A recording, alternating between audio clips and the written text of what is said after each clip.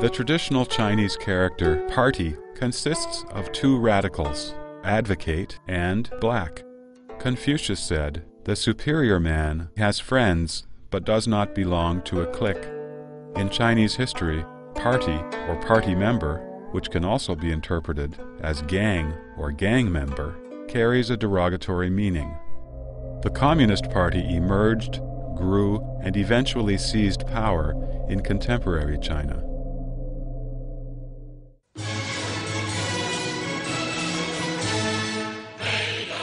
The CCP has constantly instilled into the people's minds that history chose the CCP, and that, without the CCP, there would be no new China. Did the Chinese people choose the Communist Party, or did the Communist Party gang up and force the Chinese people to accept it?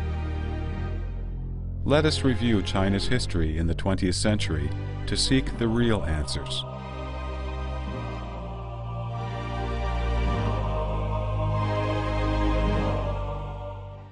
From the late Qing dynasty, China experienced tremendous external shocks and extensive attempts at internal reform.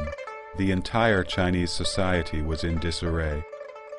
Discontented with the then reality, many people with lofty ideals wanted to save the country and its people and looked for a solution. When the British and French styles failed, they switched to the Russian method. Like people who turn to any available doctor in times of illness, they did not hesitate to prescribe the most extreme remedy for the illness in the hope that China would quickly become strong.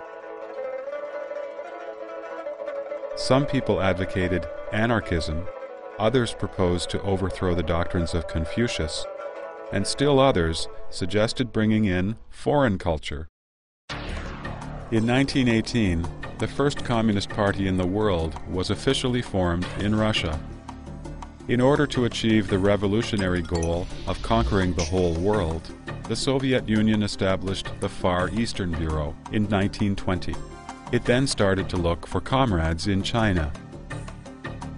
The idea of using violent revolution to seize political power, lifted from the theory of Marxism-Leninism, appealed to the anxious minds of the group of young people under such circumstances, communism, a completely foreign concept, was introduced into China. The founders of the CCP did not realize that the deity they had introduced from the Soviet Union was in reality an evil specter, and the remedy they sought for strengthening the nation was actually a deadly poison. It was not an easy task to introduce the foreign and evil specter into China, a country with a history of 5,000 years of civilization. The CCP deceived the populace and the intellectuals with the promise of the so-called communist utopia. The CCP inherited communism's denial of private ownership, imported Lenin's theory of violent revolution, and adopted the Industrial Revolution's destruction of belief. At the same time, the CCP inherited and further strengthened the worst parts of the Chinese monarchy. the Communist Party presented the fantasy of a communist paradise as the truth and aroused people's enthusiasm to fight for it. Employing such an absolutely absurd idea, the CCP severed the connections between humanity and Earth and cut the lifeline that connects the Chinese people to their ancestors and national traditions. By summoning people to give their lives for communism, the CCP strengthened its ability to do harm. The communist movement was introduced to China as an experiment. The CCP's success in defeating other theories and eventually gaining control of the entire Chinese nation comes from its cruel, evil, and violent nature. The history of the CCP is a process of its accumulation of every kind of wickedness. In this process, the CCP has continuously perfected its nine inherited traits evil, deceit, incitement, fighting, robbery, unleashing the scum of society, espionage, elimination, and control. Responding to continuous crises, the CCP has consolidated and strengthened the means and extent to which these malignant characteristics have been playing out.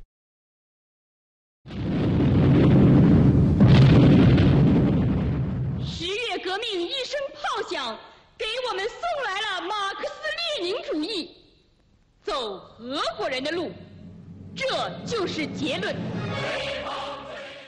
The CCP acknowledges that it is a religion imported from other countries. From ideology to experience, from organization to capital, everything is brought in from the Soviet Union. It carried out the imperialism of the Russian Red Army, following the Soviet Party on everything. From the beginning, the CCP was a traitorous party. In July 1921, the CCP was officially formed. As the China branch of the Comintern, the CCP began to receive funding from the Comintern beginning in October 1921. According to statistics available from declassified party documents, during the period from 1924 to 1927, the contribution from the Comintern averaged around 20,000 yuan per month. At the Second National Congress of the CCP in July 1922, there were only 195 CCP members across all of China. The Comintern criticized the CCP for not working diligently. Based on the All Russian Communist Party's experience, it ordered the CCP to join the KMT. The CCP made itself bigger and more powerful through the KMT and won people's hearts through participating in the national revolution movement. With the support of the Soviet Union, the CCP wantonly seized political power within the KMT during the alliance. Among the KMT ministers, CCP member Tan Ping Shan became the minister of the Central Personnel Department. Mao Zedong assumed the position of acting minister of the Propaganda Department. Zhou Enlai held the position of director of the political department of the Huangpu Military Academy. Lin Zuhan was the minister of rural affairs. Many communists served as KMT party representatives at various levels of the National Revolutionary Army the number of the CCP members increased dramatically from 420 in 1923 to 30,000 by 1928. The CCP members who joined the KMT did not obey the KMT rules. They publicly aired their views, attacking the KMT. They breached their promises and organized and expanded an underground CCP within the KMT. In January 1925, when the CCP only had 994 members, it had already raised the question of who would have leadership in China. Had Sun Yat sen not died, he, instead of Chiang Kai shek, would have been the target of the CCP in its quest for power. Human nature universally repels violence. Violence makes people insane, ruthless, and tyrannical. Marxist Leninist violent revolution and dictatorship of the proletariat promote power politics and proletarian domination proletarians use violent struggles to seize political power. The Communist Manifesto clearly declared that their ends could be attained only by the forcible overthrow of all existing social conditions. That is, to use violent revolution to destroy the old state apparatus and to establish a dictatorship of the proletariat. This is the root of evil in Marxism and Leninism. Evil is the main character trait that the Marxist Leninist specter passed on to the CCP. It is the root of all evils.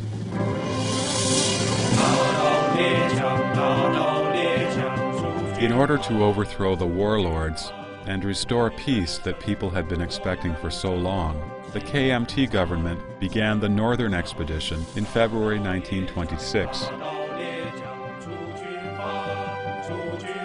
Ignoring the people's wishes and interests, the CCP used all kinds of schemes and intrigues to sabotage the Northern Expedition in order to seize political power. From October 1926 to March 1927, the CCP launched three armed rebellions in Shanghai. During the Northern Expedition, they distributed flyers everywhere, put up banners, and organized workers to strike. Picket squads of workers, organized by the CCP, engaged in violent conflicts with the police almost daily. The KMT government had to assign the army to assist maintaining social order. The KMT became impatient with the CCP's blatant provocation and decided to thoroughly purge its members. On April 12, 1927, the National Revolutionary Army disarmed the workers' picket squads in Shanghai and took over the Shanghai General Labor Union, which was the CCP's rebellion headquarters in Shanghai. At that point, the first CCP KMT alliance was declared a failure and ended in blood and slaughter. However, the CCP twisted the facts and accused Chiang Kai shek of betraying the revolution. When the National Revolutionary Army was at war with the warlords, the CCP was advocating peasants to rebel and to confiscate land from its owners in the rural areas.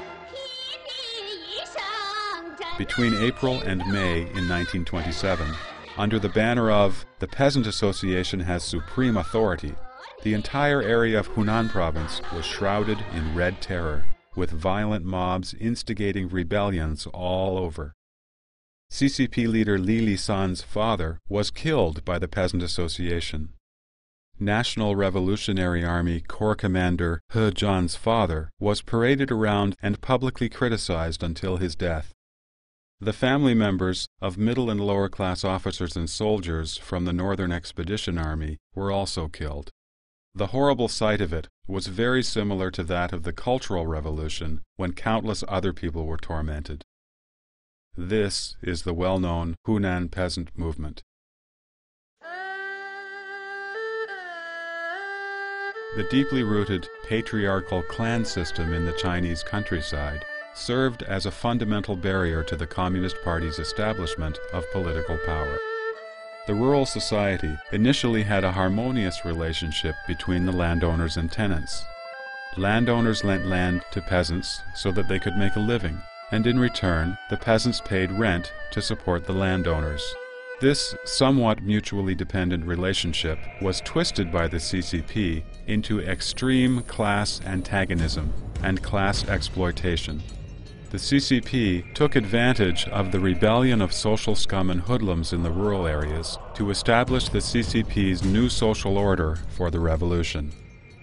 These scum of society were praised by Mao Zedong as the bravest and firmest in the revolution in the rural areas. Unleashing the scum of society and robbery became the second and third inherited traits of the CCP. Taking advantage of the rebellions of hoodlums can be said to be the CCP's tradition. In 1871, a group of lumpen proletarians rebelled and occupied Paris and formed the Paris Commune.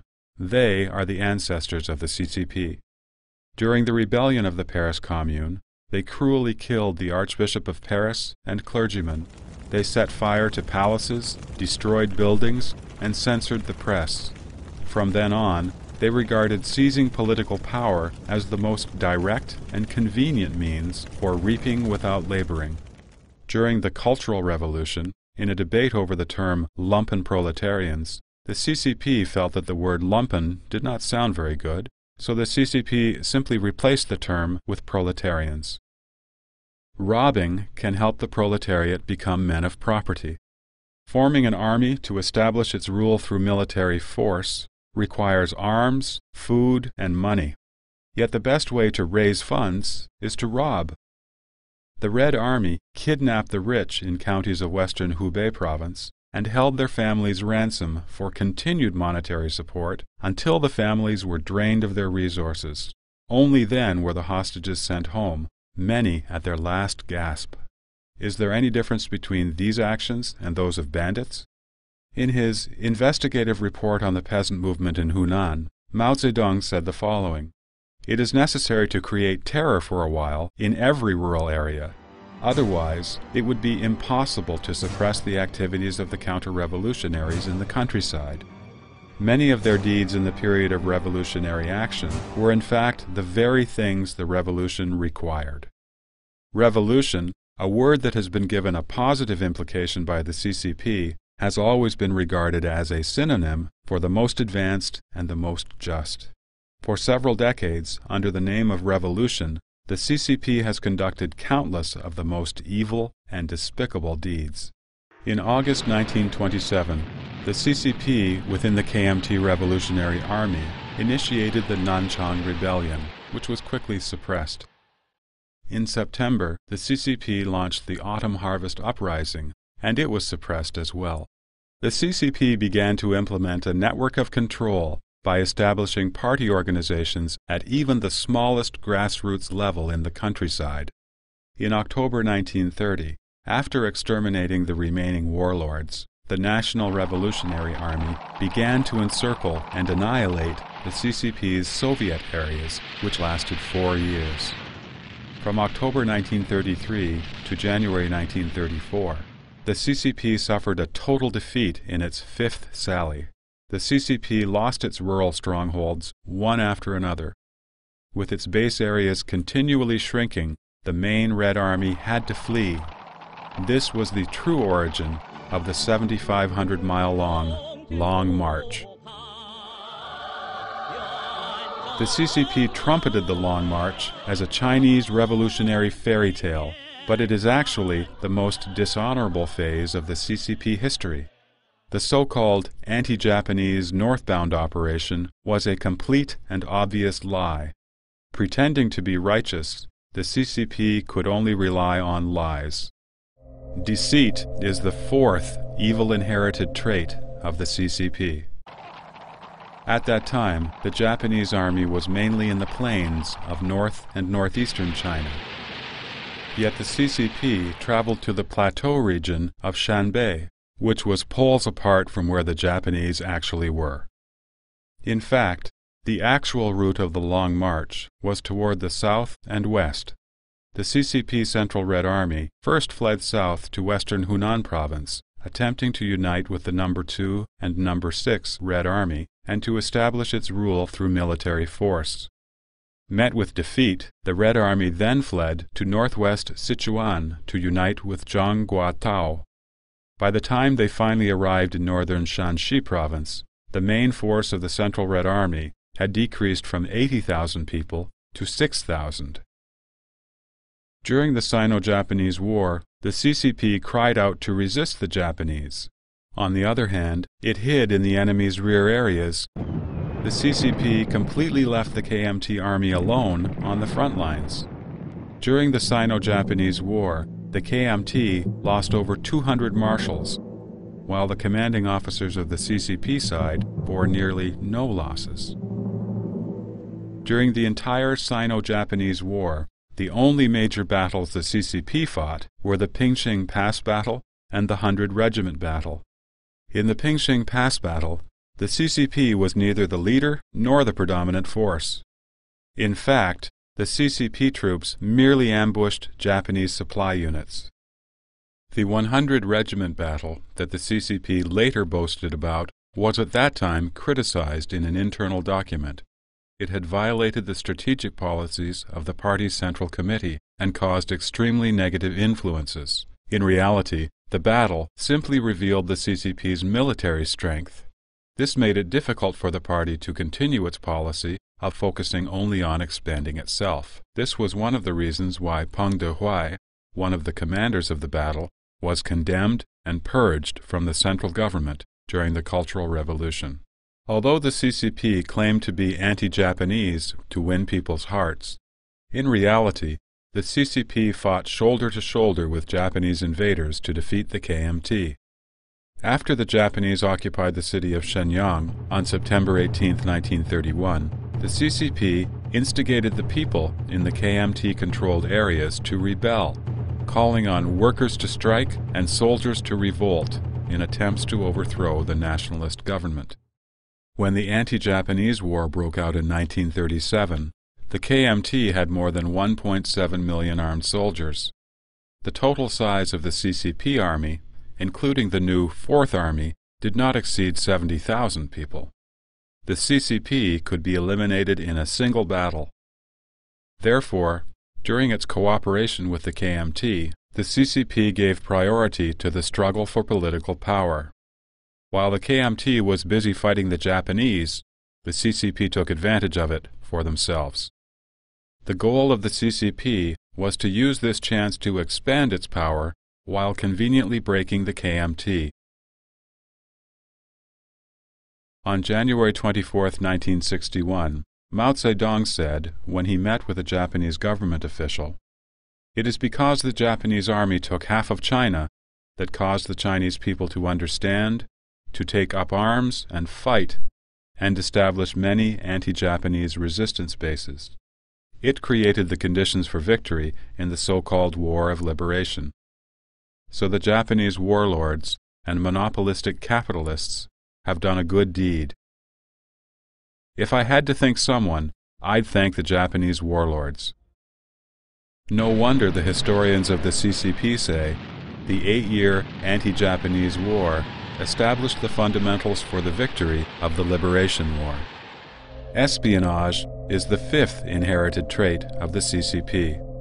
Infiltration, sowing dissent, and disintegration and replacement are the unique methods it used to incite rebellion and seize power. The Xi'an incident is a typical example. In December 1936, Zhang Xueliang and Yang Hucheng, two KMT generals, kidnapped Chiang Kai shek, the leader of the KMT, in Xi'an. The Xi'an incident helped the CCP escape from the crisis of its own elimination, and also gave the CCP the opportunity to latch onto the KMT government for a second time. According to CCP textbooks, the Xi'an incident was a military coup initiated by Zhang and Yang, forcing Chiang Kai shek to fight against the Japanese. As a matter of fact, this coup was directly instigated by the CCP. Before the Xi'an incident, many CCP members had already gathered around Yang Hucheng and Zhang Xueliang. Among those working at Yang Hucheng's side, his own wife, Xu Baozhen, was a CCP member and worked in Yang's political department of the army. Xu married Yang Hucheng in January 1928 with the approval of the CCP. CCP member Wang Bingnan was an honored guest in Yang's home at the time. Wang was sent by the Comintern to persuade Yang to detain Chiang Kai shek. The CCP members around Yang and Zhang directly instigated the coup. At the beginning of the Xi'an incident, the leaders of the CCP wanted to kill Chiang Kai shek. In order to pin down the Japanese and prevent them from attacking the Soviet Union, Stalin personally wrote to the Central Committee of the CCP asking them not to kill Chiang Kai shek. The CCP could not destroy the KMT, so the CCP changed its tone. The CCP forced Chiang Kai shek to accept so called cooperation a second time, in the name of joint resistance against the army of the Japanese. The Red Army was soon turned into the Eighth Route Army, and the nationalist government paid its soldiers and supplied their provisions. The CCP first was like the bad guy, pointing the gun at Chiang Kai shek but then turned around and acted like the good guy. One must admire the CCP's unmatched skills of deception. During the three years of civil war, the CCP managed to plant a secret agent that Chiang Kai shek ended up keeping in close confidence. Liu Fei, an undercover agent for the CCP, was the Deputy Minister of Defense. He was in charge of dispatching the KMT Army. Before the KMT Army found out about their next assignments, the information had already reached the headquarters of the CCP.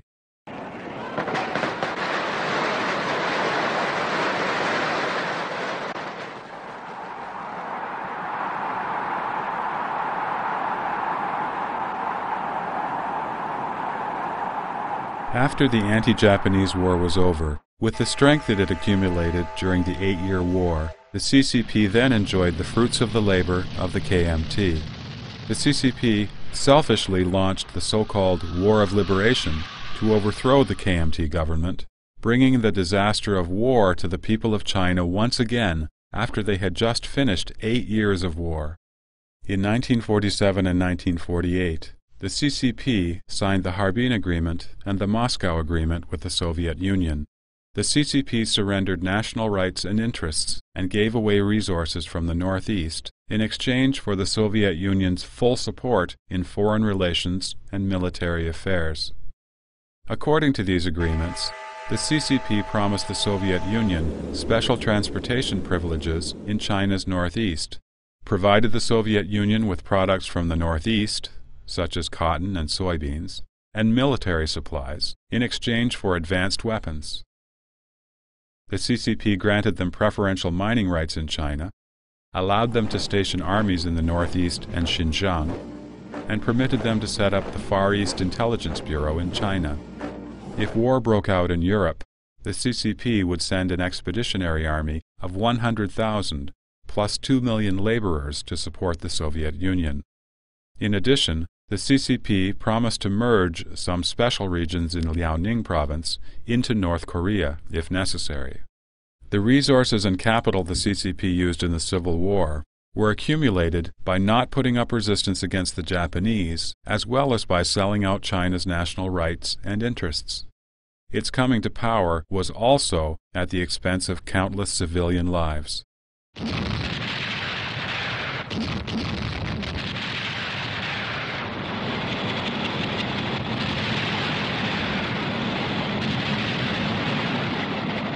The CCP is well known for its huge crowd strategy.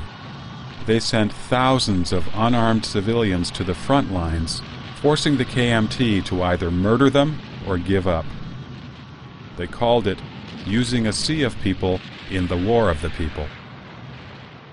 When besieging the city of Changchun in 1948, in order to exhaust the food supply in the city, the People's Liberation Army was ordered to forbid the people from leaving the city. As a result, during the two months of siege, nearly 200,000 died of hunger or froze to death in the city. After the battle was over, the CCP, without a tinge of shame, proudly proclaimed that they had liberated Changchun without firing a single shot. Using ways like this, the CCP used harsh violence and deception, sinister and ruthless methods, successfully chased the KMT away from the mainland. The Communist Manifesto relates the Communist Party's historical and philosophical basis to class conflict and struggle. The proletariat broke free from traditional morals and social relations for the sake of seizing power. Communist philosophy promotes fighting. Struggle relies on hatred. Where hatred does not exist, it can be incited and created. Incitement and fighting are the sixth and seventh inherited traits of the CCP.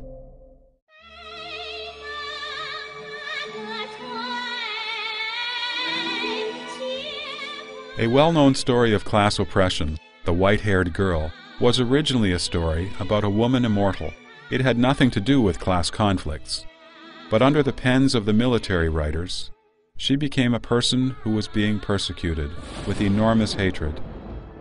They created a landlord to bully the white haired girl and transformed a classic folk tale into a propaganda piece promoting class struggle. The story was then transformed into a modern drama, opera, and ballet.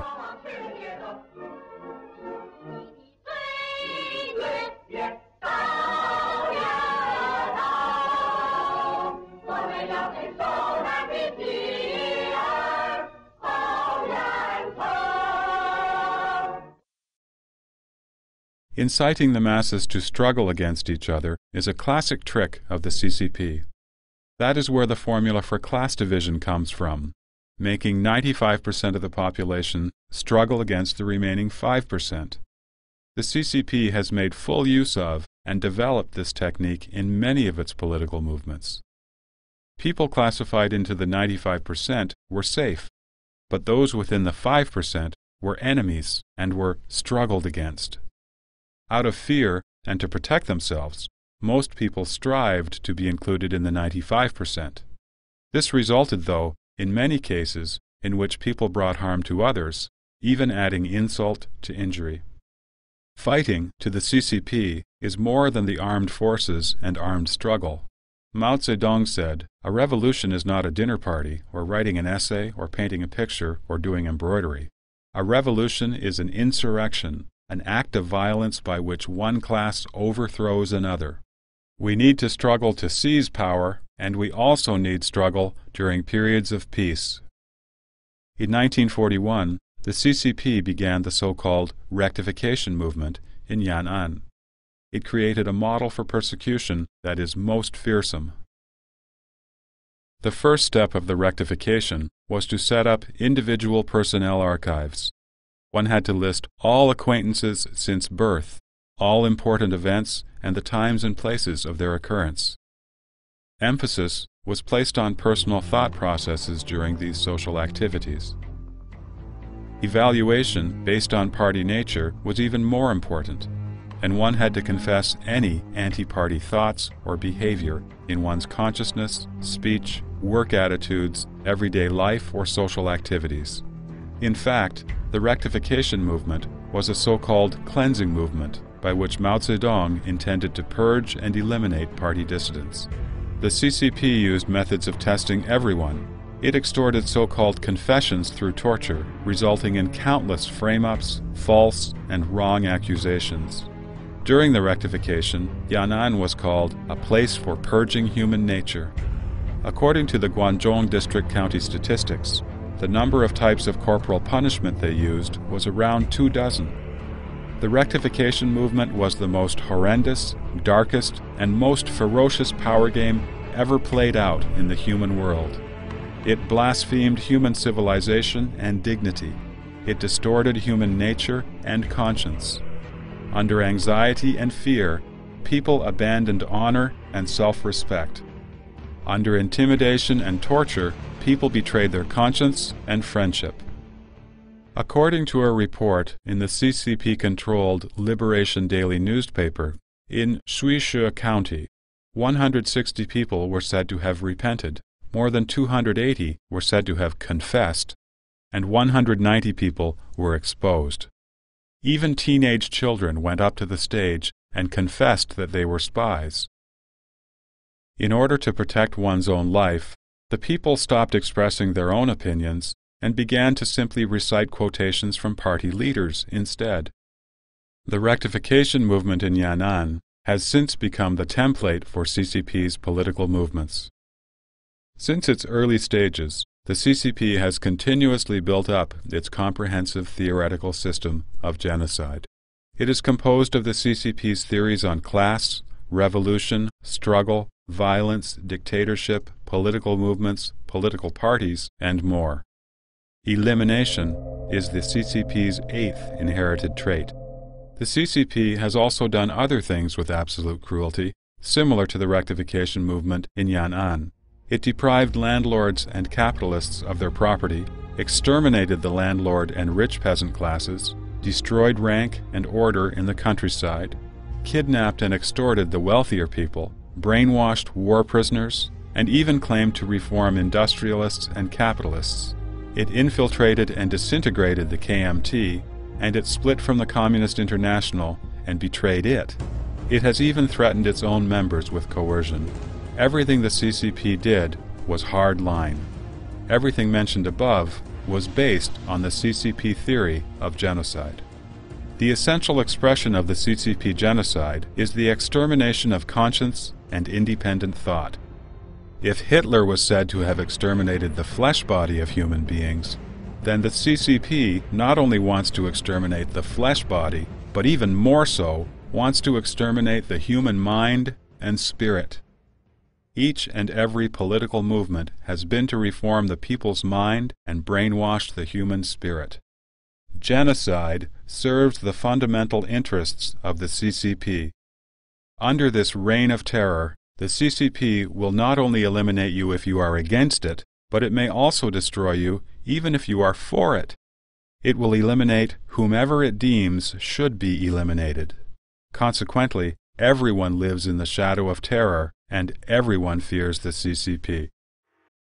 All of the CCP's inherited traits and means aim to achieve one single goal control. To control is the CCP's ninth inherited trait.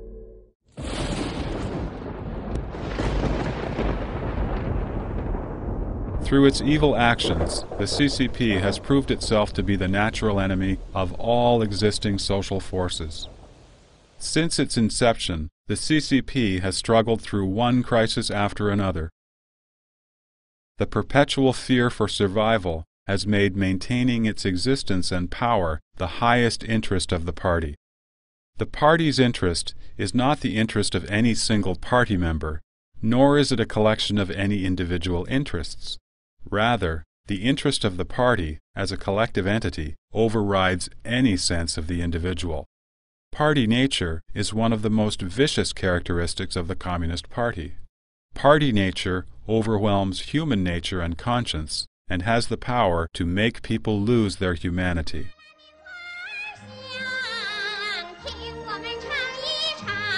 The beautiful melody of this folk song from northern Shanxi province is a familiar tune to people's ears. Yet the scent rising from this flower basket is not that of any grain or cotton flowers, but rather of the opium poppy.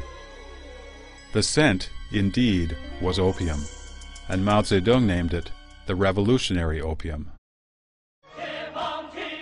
In 1942, in order to build up its financial resources for a civil war, a mass production movement was launched in Yan'an.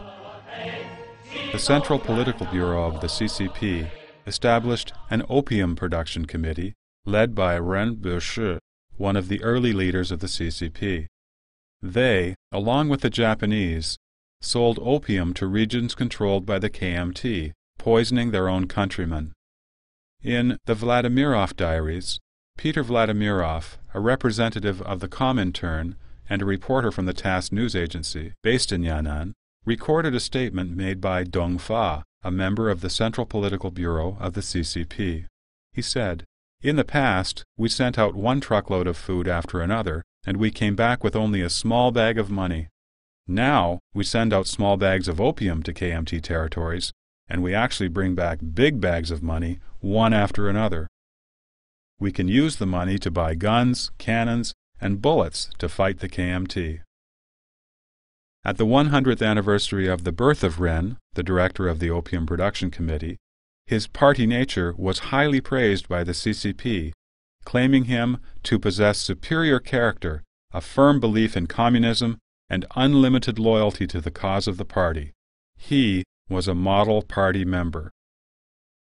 Upon gaining power, the CCP expanded its party nature even further. It successfully launched a campaign of mind control to mold new party tools and screws, such as Lei Feng.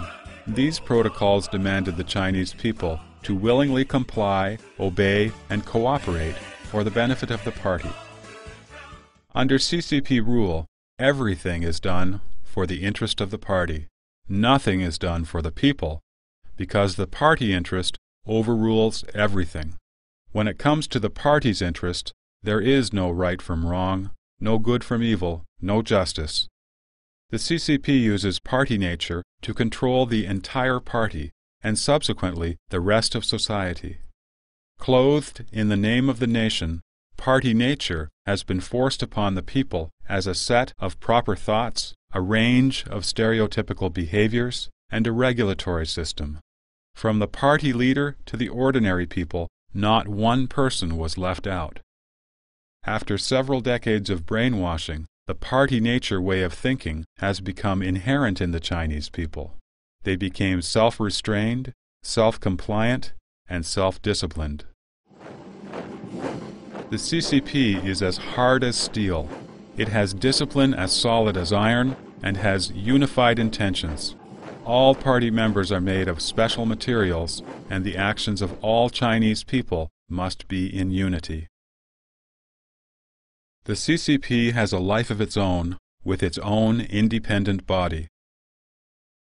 The party runs the officials. It's not the officials running the party.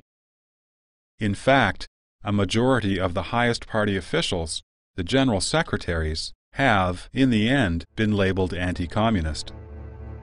The founder of the CCP, Chen Duxiu, was an intellectual and a leader of the May 4th student movement in 1919. He showed himself not a fan of violence and warned the CCP members that if they attempted to convert the KMT to communist ideologies or had too much interest in power, that would certainly lead to strained relationships. While being one of the most active in the May 4th generation, Chen was also tolerant. However, he was the first to be labeled a right wing opportunist. Another CCP leader, Qu Qiubai, believed that the CCP members should engage in battles and fighting, organize rebellions, overthrow authorities, and use extreme means to return the Chinese society to its normal functioning.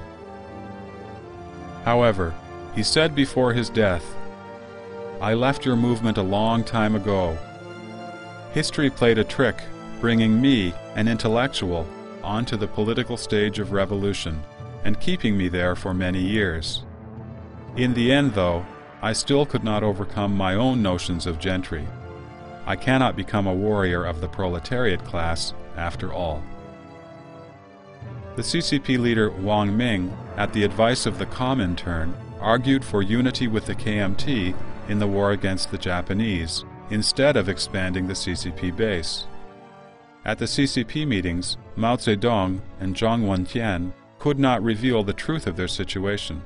According to the limited military strength of the Red Army, they would not be able to hold back even a single division of the Japanese by themselves. Mao Zedong was forced to remain silent at the meetings. Later, however, Wang Ming was ousted, first for a left wing deviation, and then branded an opportunist of the right wing ideology. Hu Yaobang, another party secretary, won back support for the CCP from the Chinese people by bringing justice to many innocent victims who had been criminalized during the Cultural Revolution. Still, he was kicked out. Zhao Ziyang wanted to help the CCP in furthering reform, yet his actions brought him dire consequences. So, what could each new leader of the CCP accomplish? To truly reform the CCP would imply its death. There is a certain limit, then, on what even the CCP members can do to transform the CCP system. So there is no chance for any true reformation of the CCP to succeed. Many party leaders ended their political lives in tragedy, yet the CCP has survived. In many instances, when the CCP was at its most evil, the highest officials failed in their positions. This was because their extent of evil did not meet the requirements of the party. Only the most evil would meet its requirements. The CCP leaders who survived their positions were not those who could influence the party, but those who could comprehend the party's evil intentions and follow them. No wonder party members were capable of battling with heaven, fighting with the earth, and struggling against other human beings. But never could they oppose the party. They are the tame tools of the party, or at most, symbiotically related to the party. The CCP has mixed violence, terror, and high pressure indoctrination to form its theoretical basis, which is then turned into the party nature, the spirit of its leaders, the functioning mechanism of the entire party, and the criteria for the actions of all CCP members. The history of the CCP tells us precisely its illegitimacy. The Chinese people did not choose the CCP. Instead, the CCP forced communism, this foreign evil specter, onto the Chinese people by applying the evil traits that it has inherited from the Communist Party evil, deceit, incitement, fighting, robbery, unleashing the scum of society, espionage, elimination, and control.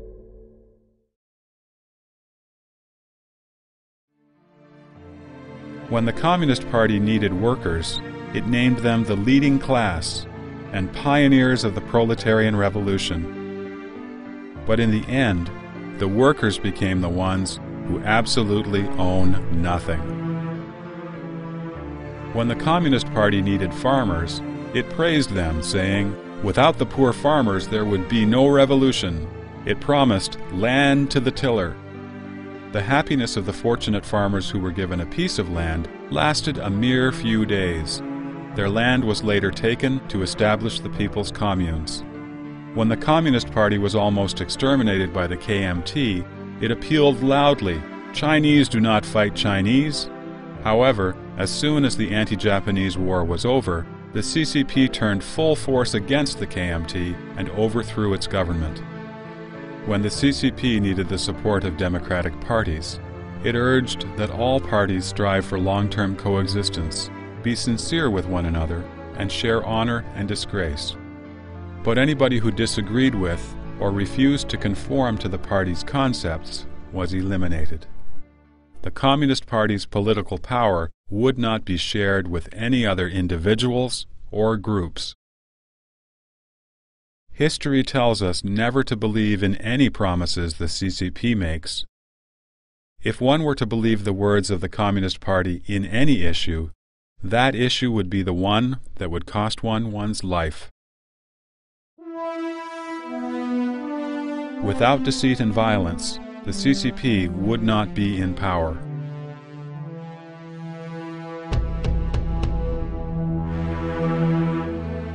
For the past several decades, the CCP has brought ceaseless disasters and endless miseries upon the Chinese people. The indulgence of the CCP in wanton massacre and willful persecution throughout China has been the greatest misfortune for the Chinese people. To be free from the CCP shackles will bring new hope to China.